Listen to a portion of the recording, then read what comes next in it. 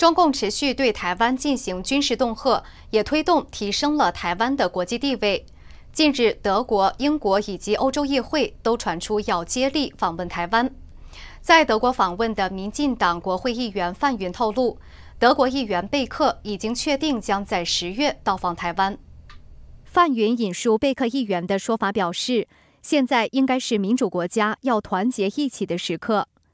另外，德新社报道，德国联邦议院人权委员会代表已经计划十月底访问台湾。英国卫报披露，英国国会下议院外交事务委员会计划在年底访台。另外，欧洲议会对中关系代表团团长包瑞汉对《每日镜报》表示，计划十二月与议会成员访问台湾，推动双边投资协定。